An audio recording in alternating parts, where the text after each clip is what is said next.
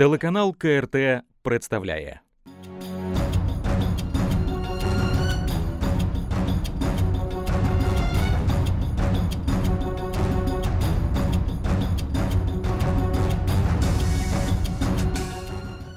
Вітаю вас, дорогі телеглядачі. Ви дивитесь програму без протоколу. З вами я і ведучий Дмитро Василець. І Сьогодні в нас в гостях депутат від фракції Слуга народу Роман Каптєлов. Вітаю вас.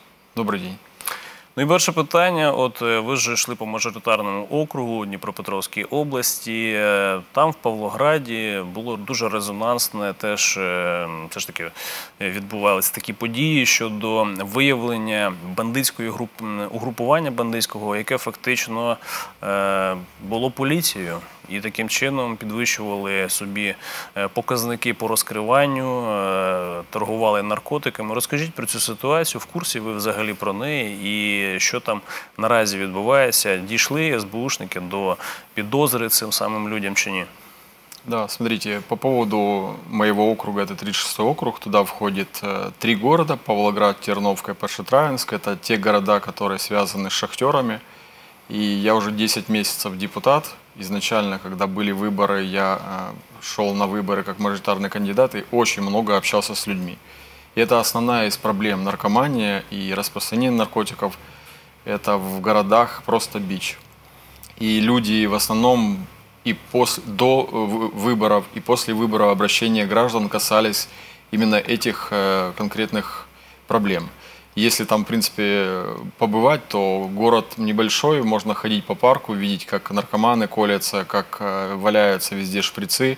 И это просто плачевная ситуация. Почему так происходило и почему дошло до такой ситуации?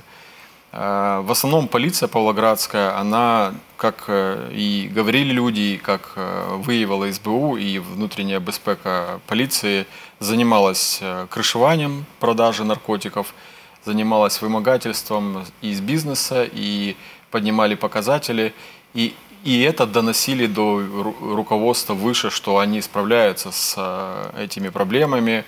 Э, В основном это как бы негромко звучало, но мафия, о которой знают все жители региона и которые не верят, что с этим можно было справиться.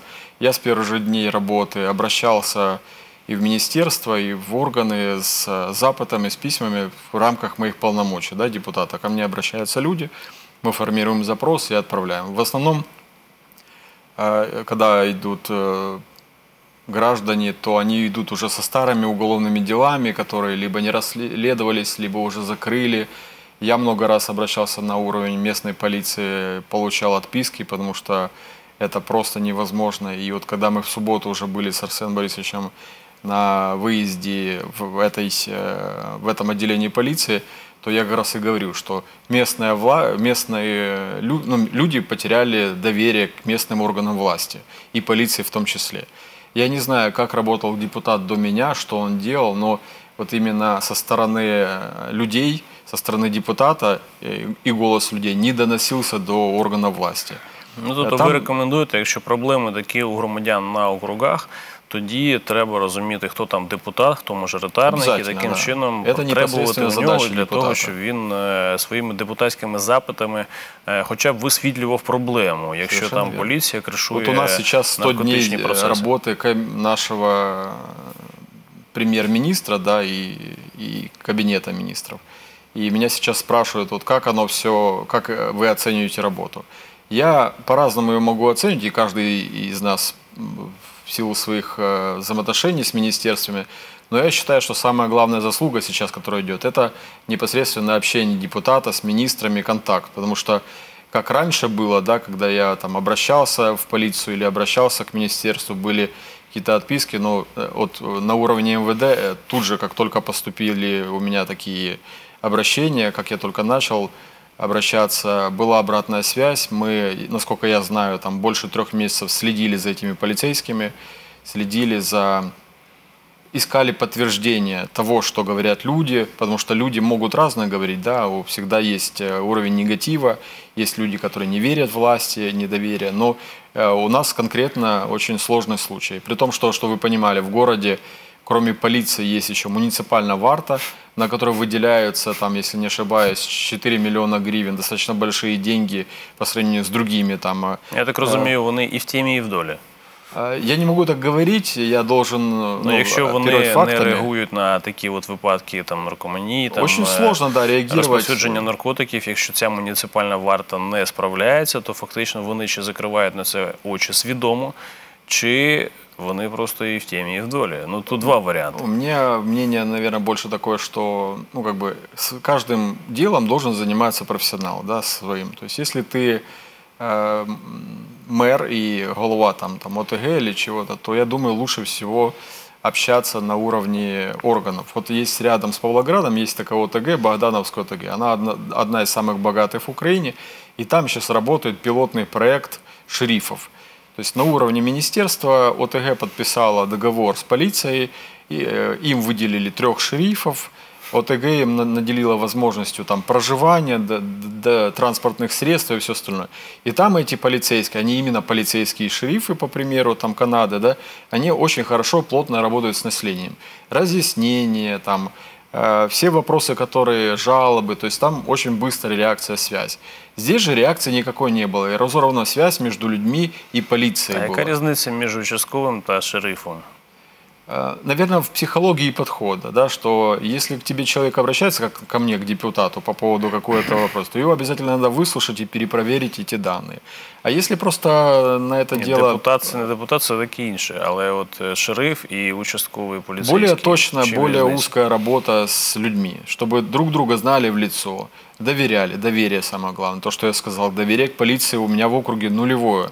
И сейчас, когда мы были на расформировании вот этого вот куста Павлоградского, который э, работал полиция, сейчас будет у них переаттестация и детектор лжи, люди должны поверить, должны э, понять, что им можно доверять. Потому что когда я говорю, обращайтесь в полицию, людям, які туди да, новым підуть. людям или те, которые... Ну, я думаю, це защитили покаже себя. час.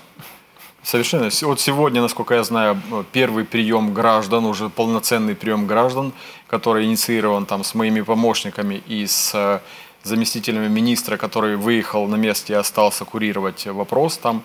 Сегодня первый э, масштабный такой прием граждан, тех, которые мы на- на- набирали эти обращения и через звернення на депутата, и через анонимные. э, Сейчас мы распространяем информацию. Зрозуміло. От ми бачили, що там десь затримали приблизно там певну кількість Сім правоохоронців, чоловік. сім, лю- сім, сім людей.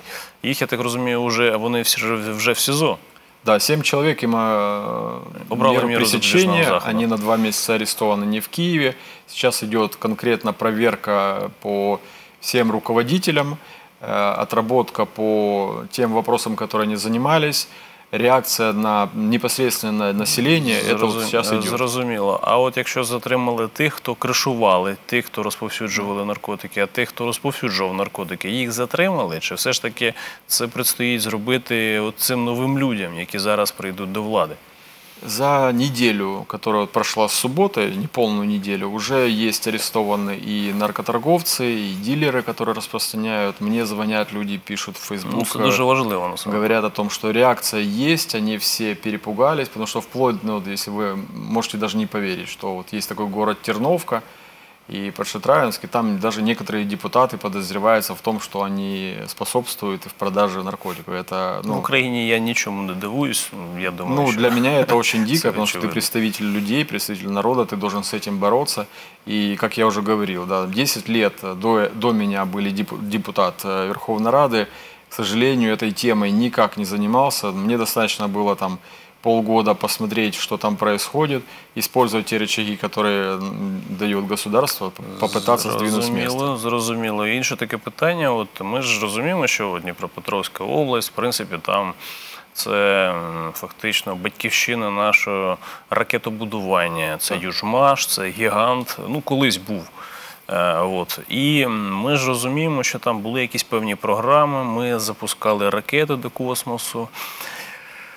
Е, Як справи зараз, в принципі, у нашої промисловості саме у ракетобудуванні? Які перспективи? Що робиться і скільки грошей виділялося в минулому році? Я думаю, ви ж повинні знати як Так. мажоритарник у цьому напрямку. І е, що змінилося у 2020 році, і що зміниться, мабуть, у 2021-му? Но опять же мне повезло, потому что у меня в округе так сложилось, что и э, основная там отрасль по ракетостроению находится в том же Павлограде есть э, очень большой и значимый предприятие Павлоградский химический завод. Раньше он входил в э, аэрокосмическое агентство. Во времена президента Порошенко этот завод выделили из агентства, передали на Министерство э, экономики. И ситуация сложилась такая, что вот полгода, который я занимался вопросом утилизации твердого ракетного топлива, которое сейчас в округе самое кричащее и значительное, то очень сложно найти концы хозяев, так называемых, тех, кто принимает решения, кто ответственен за эту проблему. Мне нужно было полгода, чтобы побегать, найти возможности узнать, какая программа должна быть, э, что, кто должен отвечать. Ситуация в чем? Есть э, химзавод на территории химзавода, хранится еще со времен Советского Союза. Остаток – это 1800 тонн твердого ракетного топлива. Это огромные такие ступени, в которых хранится по, по, по типу каучука топливо, которое э, нельзя никак утилизировать, кроме той программы, которая в э, современ э, Советского Союза осталась. И американцы к нам приехали, передали нам технологию, утилизировали часть топлива, а часть осталась. Ага. Була проблема, очень сложна. А його неможливо використовувати вже? Ее можно использовать только вот через переработку. И, и в этом ага. заключалась проблема. Когда я первый день и э, был депутатом и попал в бюджетный комитет, то первый мой законопроект – это э, закон о бюджете, бюджет 2020. Ко мне поступила правка на 700 миллионов гривен по поводу этого завода по утилизации топлива. Суть его была в том, чтобы выделить деньги для того, чтобы утилизировать все топливо, которое есть, чтобы, во-первых, э, не было катастрофы, потому что взрыв таких веществ, которые есть, ну, мало не покажется, и не только в Павлограде, а и в области, и в соседних областях. Это очень серьезная такая тема. И, во-вторых, это топливо должно было перерабатываться, то, что вы говорите, и остатки того, что утилизировало, должно использоваться для наших ракетных программ, для зарядки новых ракет твердым топливом, там, mm-hmm. типа Альха, все остальное, для того, чтобы мы развивали свою отрасль. Я вот создал сейчас между депутатами объединение за украинское ракетостроение, и мы как раз этим вопросом занимаемся. В этом году э, этому заводу не выделили эти деньги. Каждый год выделяли 130 миллионов. Это было достаточно для того, чтобы просто содержать эти э, ступени в, в таком состоянии, в котором оно не, не портится, там специальный кислород, специальная влажность, э, температура. Uh-huh. И так получилось, что э, тот министр, который был э, на то время, и аэрокосмического агентства не было директора, и программы, по сути, не было. Завод требовал 130 миллионов, 160 миллионов, а им выделили только 30, потому что, как я и говорил, не было начальника нормального, не было хозяина, кто мог бы этой программы найти, где она лежит і кому должны були виділятися ці деньги. Ну, але все ж таки, я ж таки розумію, що аерокосмічний галузь і, в принципі, ракетобудування це дуже багато різних підприємств. Совершенно вірно, і от да. якщо так підсумувати, оцей кластер ем, для європейських, наприклад, країн. Ми конкурент. Навіщо їм конкурент на території України? Для Америки чи Росії ми теж конкурент. Тобто ці країни будуть робити все, щоб знищити нашу фактично е, ракетобудівну галузь, і це очевидно. І ми це бачимо, як от методично в нас е, скорочується фінансування, я так розумію, цієї ракетної галузі. Тому що я би в нас е, конфлікт на Донбасі, в нас соціальні програми, яких ми не можемо фактично е, наповнити грошима. Тобто тут е, потрібно зрозуміти, чи є в принципі е, перспектива в нашій ракетобудівній галузі, чи у нас просто і буде один космонавт Коденюк, який літав за допомогою американців, і все. І більше українців, космонавтів не буде. Хоча Каденюк теж він з радянського союзу, але ну, хоча б формально. Первое, что могу сказать, потенциал очень огромный, и нам нужно заниматься этой отраслью, потому что мы видим, что в мире есть частные структуры, да, как мы видели сейчас, Макс запустил ракеты, это частные структуры, которые развивают у космос, и есть государственные. Мы уже приняли такие законы, которые помогают вывести монополию, убрать монополию государства над космосом в Украине. И есть масса частных инвесторов, которые готовы на территории наших заводов, это и ЮМЗ, и химзавод строить и вкладывать, инвестировать деньги в те же там, двигатели, в топливо, все остальное. Вопрос в другом. В эффективности использования денег, которые выделяло государство для того, чтобы что-то происходило. Вот наша задача, моя как раз задача, чтобы те средства, которые выделялись или выделялись меньше, они эффективно использовать. Потому что во многом зачастую деньги используют для того, чтобы что-то. Вот по тому же химзаводу, да, э, перерабатывали твердоракетное топливо и делали с нее жидкую взрывчатку. А по-хозяйски, по-правильному, то, что мы должны развивать свое ракетостроение, мы должны перерабатывать это топливо, выделять те вещества, которые, с помощью которых можно заряжать наши же новые ракеты. И это правильная программа, и на это я готов поддерживать и выделять, государство выделять деньги. Вот в этом году мы хотим туда выделить 700 миллионов для того, чтобы достроить этот завод, чтобы mm. все вещество, которое в два года можно было переработать, и с него виділять спеціальні реагенти, які потім замішуються в тверде ракетне топливо в ракети. Тобто ви вважаєте, що нам потрібно ракетобудівні заводи приватизувати? И будет сейчас у нас, вот, как у Илона Маска. Не, не то, чтобы приватизировать. Сейчас разрабатывается, как раз я занимаюсь этим вопросом, так называемые технопарки, изменения в законодательство по технопаркам. У меня на округе есть технопарк, опять же. Он находится в поле, это 500 гектар земли со специальными экономическими льготами и нормами для того, чтобы бизнес развивался. Есть там понимание, что несколько заводов хотят построиться, но это поле. В то же время у нас есть такие заводы, как ЮМЗ и химзавод, на которых это тысяча гектар земли, старі заброшені ну, ангари. Я маю на увазі, якщо є якісь підприємці, які хочуть купити українські заводи, тобто ви Ее не нужно покупать. Мы должны дать возможность развивать там что-то. То есть по этому закону по развитию технопарков, если мы запустим технопарки на территории этих заводов, дадим возможность бизнесу заходить, инвестировать в программы, которые нужны государству. Вот вам есть территория, вот у вас есть э, экономические льготы, мы хотим, чтобы вы на этих заводах выпускали вот такую-то продукцию, потому что это специализированные заводы.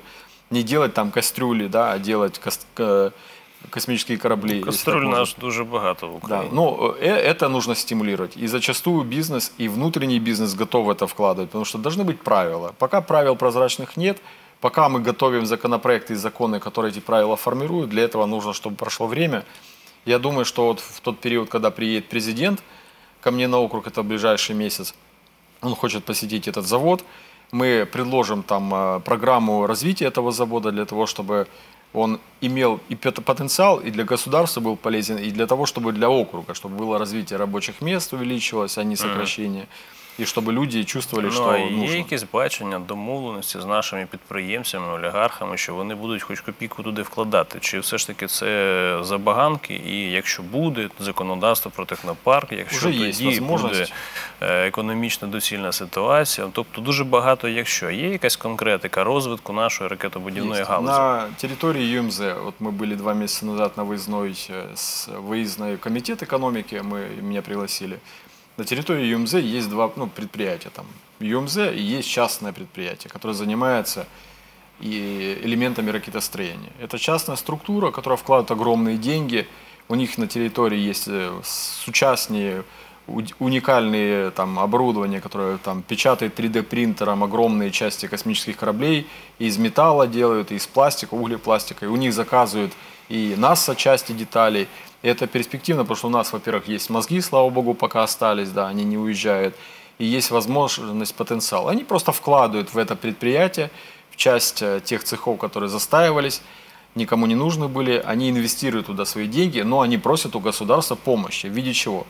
Чтобы было изменение в законах, чтобы можно было не только государству космосом заниматься, а заниматься и частному инвестору космосом. Запускать вот есть такая фирма Биосфера, которая запускает спутники украинские в космос. Но для этого им нужно и помощь государства, ну, не финансовая поддержка, у них это и так есть, а законодательная, чтобы правила игры были, чтобы они были конкурентны с другими, и чтобы мы им не мешали. А як вони можуть бути конкурентні з тим же SpaceX Ілона Маска, якщо SpaceX дуже багато виділяють державних дотацій? про які наші українські компанії навіть і мріють не і ну, мріяти не можуть. Я Але все ж таки це теж вже не конкурентні е, все ж таки умови. Смотрите, Чи як ви вважаєте? Я очень верю в это, я верю в это направление, потому что у нас Ні, вірити це добре. Але у нас те технологии, таки, которые все, есть, и мозги достаточно для того, чтобы конкурировать. Главное, чтобы власть и э, страна и, и можновладцы, которые думают, думали именно так, как думает бизнес. Мы должны им помогать, не мешать. Это самое важное, я думаю, сейчас во, во всех отраслях нашего э, деятельности, чтобы мы не Дякую. мешали. А от ви як підприємець, я так розумію, у майбутньому е, в минулому ви були підприємцем, займалися підприємницькою діяльністю. Це так? Да, ну я специфически, я был с- э, п- политолог, Більше соци- в- социологией соціологічного напрямку, але все ж таки це підприємницька Да. діяльність. От ви виступаєте за от е, відкриту економіку, за вільний ринок, за те, що ринок сам це відреагує, чи якусь іншу модель? Э, 10 лет занимаюсь э, социологией с, с- компанией, 5 лет это уже оформленная компания, с которой я вышел, но она занимается. Самое важное что? Чтобы компания работала, предоставляла услуги, давала рабочие места людям и были прозрачные отношения с властью. То есть платились налоги, и э, государство не, не то чтобы защищало фирму, да, чтобы оно давало все возможности развиваться. Я думаю, что такая задача перед властью сейчас стоит, чтобы мы были не органом управления, а сервисом. То есть я к тому стремлюсь, что вы говорите, чтобы государство было сервисом для бизнеса. Нужно оформить что-то, нужно зайти просто на сайт, оформить э, лицензию и больше ничего. Ну, тобто, щоб, щоб держава не допомагала і не заважала. Да, это самое правильное, потому что мы найдем сами возможность развиваться, есть рынок, есть поле, и это самое важное. Отсюда есть программа DIA, в которой очень... Я с первых же дней был тестером этой программы, сам тестил ее, использовал. Там же Gov.ua, в которой можно получить масса справок. У меня на округе множество есть пожилых людей, которые мы хотим научить этим пользоваться. Не нужно ходить там, да, в очередях стоять в ЦНАПы, можно удаленно все это сделать. Но это такие элементы, но в, основном государство должно быть сервисом. Оно предоставляет сервис и помогает развиваться. К сожалению, не все сейчас в государстве направлены на эту деятельность. Да? Все думают, что государство это как кормушка, с одной стороны, можно ее э, разворовать, где-то подзаработать, либо использовать для лоббизма. Но мы должны все равно не опускать руки и двигаться в этом направлении.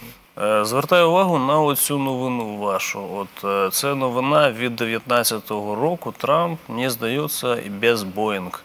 США поповнять бюджет за счет Airbus. Е, Якщо ми продивимося до формування цієї новини, ми будемо дивитися, що це, е, це йде мова про авіабудівну галузь. Але дуже гарний приклад, тому дуже цікаво з вами це все ж таки теж говорити. Якщо ми тут будемо аналізувати, от ми бачимо, що накануне члены ВТО признали незаконными полученные концертом субсидии концертом, э, концерном Airbus э, в размере 205 мільярдів від правительства ЄС. Ну і таким чином ми бачимо, що е, фактично м, це поставило в неконкурентні умови корпорацію Boeing. І таким чином 205 мільярдів доларів е, держави ЄС вклали в корпорацію Airbus. І таким чином корпорація Airbus отримала конкурентну перевагу над Boeing, і це спричинило е, все ж таки, е, залиште, будь ласка, ссылку, Е, і все ж таки це спричинило конфлікт, конфлікт інтересів. От зверніть, будь ласка, увагу на суми 205 мільярдів Да, з доларів. Е, Тобто, якщо там Україна за 2 мільярди е, якимось чином е, намагається там домовитися з МВФ під якісь там відсотки, то субсидія це просто без відсотків, просто допомога компанії для того, щоб у неї все було добре. І це від держави. Якщо держава є сервісом і не допомагає ніяк бізнесу, то яким чином, в принципі, можна говорити за конкуренцію українських компаній, коли ми розуміємо, що європейські компанії просто з'їдять наші українські компанії, навіть просто не помітять з умови от такої державної підтримки. Ну, по поводу сервиса я- мы говорили о, ча- о среднем бизнесе, о малом бизнесе, да, о тех людей, которые дают большинство рабочих мест сейчас на округах, на, на территории. Что касается стратегических предприятий, которые мы выделили, это, которые занимаются ракетостроением и элементами, вот э, то, что я сейчас курирую, то, конечно, тут совсем другой подход. Государство должно включаться по полной, давать не только сервис, а делать приоритет, чтобы это было. К сожалению, мы не такая экономика, как США, которая может датировать столько денег для того, чтобы защищать эти рынки. Но Але поздравляйте. Я ж опуски- просто показав цей приклад е, в якості прикладу. Все понимаю, Е, да. Є програми і для розвитку малого бізнесу, і, су- і субсидії такі ж Смотрите, вот я виділяються был теж недавно дуже на багато. ка- на і комісії. середнього, і великого. Вот была комиссия по инвестпроектам. Я в бюджетном комитете вхожу в эту эту комиссию. И было два проекта, которые мы сейчас рассматриваем. Элементы заменения технологий, которые мы раньше покупали в России, там где-то закупали за границей. Сейчас мы этого не можем. И компании, государственные компании обращаются к государству, чтобы дали каких-то денег для разработки. Чтобы вы понимали, для того, чтобы зарабатывать потом миллиарды, не, доста... не нужно такие инвестиции, такие субсидии.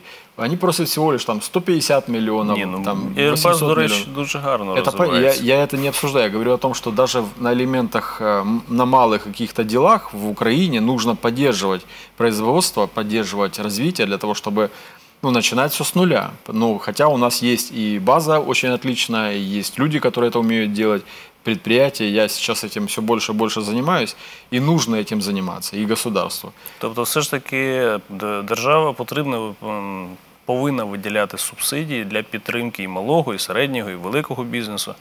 Стратегического вот- большого, а средний и малый, ну, думаю, просто не трогать их, дать им возможность Ну, я думаю, развиваться. європейські політики з вами би не погодилися, тому що вони теж виділяють гроші на малий, і на середній бізнес. Але все ж таки. Они на рынке Э, выделяют, они защищают свои рынки, и нам бы это поучиться. Але якщо навіть от ми звернемося, як ми захищаємо свої ринки, м, ми навіть український ринок не можемо захистити, тому що у нас вже підписано євро е, договір про євроасоціацію. А її економічна частина доволі жорстка. І там ці економічні умови цієї асоціації не можна в односторонньому порядку якимось чином змінювати. Тобто, якщо європейці нам не дадуть їх змінити, ми їх самі не можемо змінити. І це, звісно, питання до риторичне щодо нашого суверенітету. І до тих людей, є ще хто підписував цих, це, це, цю так звану асоціацію. І, можливо, це державна зрада, але в економічному форматі. Я бы эти вопросы задавал тем людям, которые непосредственно им занимаются, там, премьер-министру, президенту, которые за это все ответственны. Но в этих Ми вопросах намагаємося полиция... їх в студію е, все ж Ні. таки запросити, але вони чомусь не приходять. Я в чуть другом плане, что в тех вопросах, которые вы сказали, э, ва- важна еще и политика. Да? Э, Политика – это искусство возможного. Как из невозможного добиться каких-то своих целей, которые ставишь. Поэтому я нахожусь в команде президента, я доверяю президенту, как и большинство людей. Я думаю, что в том состоянии, которое сейчас государство никогда не находилось, да, у нас и накрыло коронавирусом, и, э, и внешнеэкономический кризис, и внутренний тут все есть, и политический кризис, все остальное. Я думаю, что нам нужно бороться по этому поводу и пересматривать те там, вопросы, которые были жестко стояли, как раз для этого и нужен и президент, и премьер-министр, чтобы эти все вопросы нивелировать, пересматривать и до- доводить, что нужно, что не нужно. А от ще таке питання щодо умов е, нашого бізнесу і от е, закордонних компаній, які в нас в Україні теж працюють. Е, Якщо ви знаєте, я думаю, теч- точно знаєте, в м, Європі, в Сполучених Штатах там е, вартість грошей дуже низька. Там можна отримати кредит за дуже-дуже низькою ставкою. А якщо кредит це є на розвиток промисловості, на якогось бізнесу, то можна навіть взагалі без відсотків отримати в багатьох країнах Європейського Союзу. Е, якщо ми беремо Україну, ну тут такого немає. Ми бачили програму 5, 7, 9, 9, але ми бачимо, що е, скористалося її, її 0 там, відсотка навіть немає людей, які подали заявки. Это і проблема яким надали недоверия. кредит. Недоверие к этим инструментам. Мы Э, не, не, не пользовались Чи, такими чи, инструментами. чи не довіра? Я, я маю на увазі, довіра є, тому що дуже багато заявок, але просто не всі заявки задовольнили. Оце інше питання, тому що умови, які от виставляють е, зуму отримати ці гроші, вони ну, досить такі риторичні, я б сказав. Якщо ми просто звернемо увагу на те, що е, брати європейський бізнес, е, вони отримують дешеві кредити, і їм потрібно, щоб рентабельність бізнесу була 3-5%. Їм це просто за щастя. А нам Цього не можна, тому що нашим українським підприємцям з такою рентабельністю, якщо буде працювати бізнес, йому про йому легше його продати, покласти гроші на депозит і мати не 3-5% Получати у рік, а отримувати 10-15%. І, в принципі, от в такому форматі працювати. Тому ми бачимо, як умови чисто от фінансово, чисто математично, навіть так краще, чисто математично, вони грають проти бізнесу українського. І ми бачимо, що за таких умов У нас просто кількість і, в принципі, е, сфери бізнесу, наші українські, вони скорочуються. І цю нішу просто займають вже е, закордонні корпорації. У нас є навіть цілі отраслі, які вже повністю е, під закордонними корпораціями, наприклад, тютюнова галузь. Як ви будете, чи є в принципі розуміння і намагання якимось чином захистити саме українських бізнесів, українських власників бізнесу від такої несправедливості? Думають, хоча б в цьому напрямку По слуги поводу народу? парламента, пар- парламентариев, моих коллег, которые тоже в комитетах работают экономики и все остальное, у нас большое желание изменить ситуацию, которая была до этого. Да? Мы готовы принимать любые законы, которые нам даст и президент, и премьер-министр. Главное, чтобы они работали для, для этого. Но сейчас, Ну, чему Це, у нас... це, от- це питання спільне. Головне, Нет, щоб смотрите, вони вопрос не, не в споре, а в том, чтобы мы работали в, в тесном сотрудничестве. Если кабинет министров подает законопроект и описывает его, что он должен эффективно работать на, нам, на малый бизнес, да, он будет полезен. Депутаты отзываются, говорят, что да, это правильно. Но потом, после того, как этот закон вступает в силу, кабинет министров не готовит подзаконные акты, не готовит всю основу, которая есть. Если вы возьмете анализ того, что было принято до нас, тех законопроектов, которые есть, то можно на, на пальцах пересчитать э, законопроекты, которые были поданы сразу с подзаконными актами, с решениями всех э, низовых структур. Сейчас, к сожалению, и почему мы отказали премьер-министру в программе, и он ее отправил на доработку, да, в том, что очень мало таких подходов. Нам дают законопроект, который вроде бы решает проблему. Депутаты находят голоса, мы голосуем за этот законопроект, президент его подписывает. Но премьер-министр и кабинет министров не успевают или не могут, или не хотят это все имплементировать, да, чтобы он работал, этот закон. Ну, Э, я так розумію, просто проблема в тому, що закони, які готуються, вони пр- не повністю пропрацьовуються. І таким чином е, в підзаконні акти, зміни до інших Есть- есть законів две вони вещи. не есть вносяться. законы, а есть подзаконные акты, Правильно, нормативы, правильно, под правильно. которые работают. Тобто е, є депутати, які просто подають закони, та й хай, хай самі розбираються. Правильно я розумію? Тесное сотрудничество должно быть. Вот смотрите, при- не- не- недалекий пример. Мы приняли очень хороший закон, его нам подали в Верховную Раду, мы за него проголосовали. Это по аренде коммунального майна.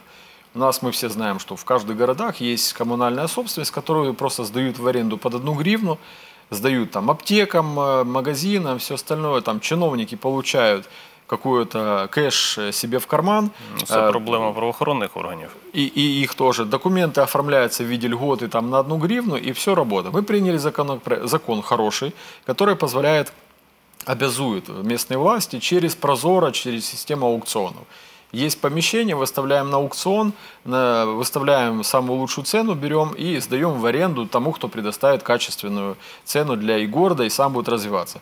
Что мы видим? Полгода прошло, кабинет министров не подготовил вот эти все нормативные акты, все местные органы власти начали вдруг суетиться, потому что их э, люди начали дергать. А что дальше с нашими арендами? Как это все будет? И только сейчас до кабинета министров дошло, вот на недавнем было с, э, э, приняты э- эти нормы, в которых все это есть. И мало того, там мы, мы упустили такую возможность, как давать в аренду спортивным учреждениям, то есть клубам, секциям, которые занимались раньше на коммунальном майне. И это нужно исправлять. Вопрос в том, что не было коммуникации между премьер-министром и его командой и депутатами, потому что депу- мы все молодые, мы все первый раз, да, и это а, чего от нас ожидали люди, когда голосовали, что мы не той системы, не мыслим там, как раньше. Но мы должны работать и учиться работать совместно с премьер-министром и его командой. И сейчас, я надеюсь, они нас услышали, поймут, что теперь уже меньше будет тех законов, которые мы принимаем сразу нахрапом, но понимаем, что не только в закон хорошо проработать нужно, а еще понять, кто его будет выполнять, как его будут выполнять, и есть ли на это основание и э, э, вот это вся Ну і подзаконка. дописати підзаконні акти. Да, это, думаю, ну, как нам говорили, и по сути, чтобы хороший закон заработал, там полгода на разработку и год его для того, чтобы запустить. А ви знаєте, скільки грошей з е, партійної каси? Ми знаємо, що є партійна каса, офіційно вже партія отримує гроші з бюджету для того, щоб розвиватися. Я думаю, що логічно було б саме ці кошти витрачати на написання підзаконних актів до гарних законів. Скільки грошей з партійної каси е, витратили на написання підзаконних актів під ваші закони? По поводу партии «Слуга народа» выделено э, деньги бюджетные как на развитие партии. У нас есть Ну, Целый- це целый блок, профіль прям. называется он по образованию, где обучают и депутатов писать законы. Там есть юридический отдел, который помогает нам теперь готовить эти законопроекты. По сути, чтобы э, если есть запрос, вот как мажоритарщику, запрос от людей по поводу, вот у нас такая-то проблема, мы можем изучить, что эта проблема носит массовый характер, не только на округе, а присуща по всей Украине, то Тобто я ви могу витрачаєте обратиться... певну кількість Да, на я могу цей обратиться в юридичний партию. відділ. Сколько, сколько точно я не знаю туда тратится, я этим не занимаюсь. Но я знаю точно, что они мне могут помочь и собрать информацию по поводу проблематики, и написать закон, найти юристов, которые могут мне сформулировать решение, выход. И в этой роли очень хорошо еще нюанс играет как бы и премьер-министр, и его команда, потому что с ними пишем Е, закон. Зрозуміло. А от е, все ж таки, якщо повернутися до мого питання, у нас вже є в Україні неконкурентні умови. Тобто український бізнес вже в неконкурентних умовах, тому що е, європейські компанії у нас е, в більш сприятливих умовах для того, щоб розвиватись та е, купувати фактично бізнес у українців, щоб українці все ж таки були вже найманими працівниками більше, а не хазяївами. Е, З цього приводу, які кроки робляться для того, щоб цю ситуацію змінити? Есть целый комитет по экономике, они разрабатывают и законопроекты, и пакет документов по дерегуляции. Да? Самое главное, то, что я говорил, с моей точки зрения, чтобы не мешать и дать развиваться. Все от, остальное е, это я, вопрос. Я, я маю на увазі, якщо от не, не мішати розвиватися, це фактично А е, остальное е, это задача не заважаєте прем'єр-міністра європейським добиватися этих. компаніям е, е, з- фактично забирати ринок у українських бізнесменів. Ну, якщо перекласти, якщо просто держава не буде захищати саме наших українських бізнесменів, тому що умови ж не рівні. Мы сейчас дождемся программы, которую нам премьер-министр в- повторно вернет на Верховную Раду на рассмотрение. В этой программе как раз и есть те замечания, которые вы говорите, от каждого депутата да, в, в разных отраслях, кто чем занимается. В том, что нету, не было прозрачных пониманий, как вы будете защищать бизнес, что вы будете. М, По сути, премьер-министр и министр – это наемные менеджеры, которые депутаты ну, але их це ж таки нанимают. це виконавча гілка така влади у нас. А якщо от брати законодавчу, які в нас є законодавчі ініціативи для того, щоб е, хоча б поставити наших українських бізнесменів на один рівень з європейськими, яким чином захищати наш український бізнес для того, щоб у них були однакові умови на ринку України? Я вже не кажу там захоплювати якісь ринки Європи. Ну це вже е, питання риторичне. Хоча б на ринку України, на нашій території, щоб наші бізнесмени були в одних правах з і на одних умовах з європейцями. Я не сильно могу прокомментировать все законопроекты, которые есть, подаются, потому что их разрабатывают комитеты специализированные. Я в бюджетном комитете больше интересуюсь законами, которые касаются моего округа или того направления, что я для себя выбрал, это как по ракетостроению всего. Пока я считаю, что те законы, которые разрабатывают и подаются в зал, они э, по- по- положительны для бизнеса. Ну, хотя в ответ нам идет масса критики, вот, например, по поводу РРО, да, э, э, э, кассовых аппаратов, которые все проблема в том, что нет коммуникации, не донесли, что это за аппараты, как они должны работать, каким образом. Есть проблема, ее можно было решить, законом мы ее определили и решили. А как она будет выполняться, вот то, что я говорил, да, что были подзаконные акты, чтобы была обратная связь от министерства, тех, кто будет выполнять этот закон.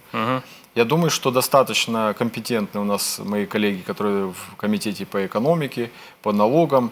И Ну, а ви они- чули про такі ініціативи? Конечно, да. Ну, я... э, Тільки ти ну, більш детально, я так розумію, вже хай розкажуть Да, вони. лучше к ним. Пока интересуюсь только теми, например, я э, сотрудничал в своем прошлом с э, виноделием, да, с заводами, которые занимаются виноделием. То есть я с ними там, например, общаюсь, они на меня подают некоторые инициативы, которые они требуют и просят от государства. М, Зрозуміло. А давайте просто пофантазуємо. От яким чином все ж таки захищатися нашим українським підприємцям від е, дешевих закордонних е, грошей, які використовують е, закордонні компанії? Тобто, ну чисто гіпотетично, який може бути захисний механізм у наших підприємців? Це корупція, можливо. До речі, якщо у них дешеві гроші, ми можемо корупцію. Якщо у нас є корупційна складова, яка не дозволяє конкурентне преимущество реалізувати. е, Якщо закордонна компанія не може реалізувати це, то в принципі, от які ще, наприклад, корупція це одна з е, яким чином можна захиститися нашому українському бізнесу. Які ще можуть бути механізми захисту, хоча б для того, щоб ми були в Не однакових знаю, как можно умовах? коррупцией защититься а, Ну, от а вот, конкурентов. Я ну, понимаю це просто, ж, что ну, це ж лоббирование, логічно. лоббизм, да, так называемый, который у нас Ну, не у нас, работает, у нас же но немає есть. ж лобізму законодавчого. Закона нету, У нас но це он корупція. есть и очень нехорошо работает. И это тоже вопрос к коллегам-депутатам, чтобы урегулировать этот процесс лоббизма, потому что в депутатов в зале достаточно много есть э, ну, просто поддержки тех или иных э, экономических направлений, там, предприятий. Это правильно, по сути, что он лоббирует, но за это он должен отчитываться, как в Америке, да, то есть ты лоббируешь Кока-Колу, ты при- говоришь об этом, отчитываешься финансово, сколько ты получил, какие ты законы про- по- продвинул, где ты какую правку ввел. Ну а гіпотетично, яким чином от, від дешевих грошей і від конкурентної, і все ж таки такої несправедливості захиститись нашим українським бізнесменам? У вас є думки з те цього люди, приводу? которые и подают нам законопроекты, и премьер-министры, и министры, они должны м, слышать нас как представителей людей и слышать те отрасля, которые есть. Это самое важное, потому что, по сути, придумывать ничего нового не надо. Нужно просто услышать те отрасли бизнеса, которые через, там, возможно, профсоюзы или какие-то там другие выходы доносят. Они сами могут сказать, что им нужно. Просто нужно услышать и э, применить. Ну, але якщо от, давайте чисто логічно, якщо от ми будемо логіку будувати на тому, що потрібно слухати галузі, економіку, профспілки, людей слухати, ну це ж логічно, так? Чому, коли приймали закон про ринок землі, так званий, чому цих всіх людей не слухали? Чому слухали ці одиниці людей, які Ну, говорили за це, але Я як соціолог абсолютно, чітко по абсолютно ринку землі- більшість людей е, все ж таки не чули. Тобто це чому? Рынок земли это показательный по отношению, вот как принимают решения, как мы принимаем решения. Перед тем, как принять рынок земли и об- обсудить его, вот, каждый мажоритарщик ездил себе на округа. Кто-то получал сразу, как говорится, в лоб, а кто-то по- попадал на тех людей, которые понимают эту проблематику и знают, для чего это нужно. Я в округе занимался достаточно большое времени для того, чтобы разъяснять, объяснять, для чего это нужно, потому что земля, которая в громадах, она должна быть громадами распоряжения, иметь, в, и они на ней живут, они распоряжаются. Э, Я как социолог в прошлом могу сказать так, что как ты задашь вопрос, та- такой ты ответ, ответ и Ні, получишь. я, я тут не про питання. Ви ж А, розумієте, Если що мы чисто- говорим о тех митингах, которые были, это митинги были политические. Они были связаны с политикой, потому что использование Туди таких рі- ту- шумных... Туди э, різні люди приходили. Это правильно, но кто использует эти э, голоса, кто использует этих разных людей с разными точками зрения? Потому что это м, чистой воды манипуляция, политическая роль э, партии в тех сложных вопросах, которые мы сейчас принимаем, крайне высокая. Вот любой я хот- вопрос э, возьмите, который сейчас есть.